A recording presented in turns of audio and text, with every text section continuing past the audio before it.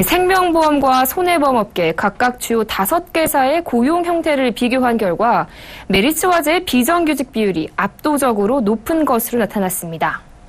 고용노동부 워크넷 고용 형태 공시 자료에 따르면 주요 5대 손해 생명보험사 중 손해보험업계에서는 메리츠 화재가 생명보험업계에서는 교보생명이 비정규직 고용률이 높아 고용의 질이 떨어지는 것으로 분석됐습니다.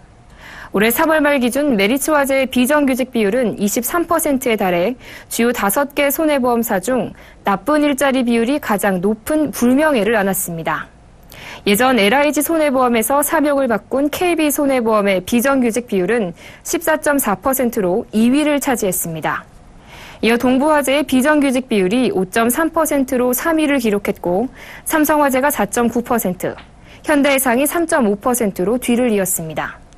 생명보험업계에서는 교보생명 비정규직 비율이 12.6%로 생보업계 주요 5개사 가운데 가장 높았습니다.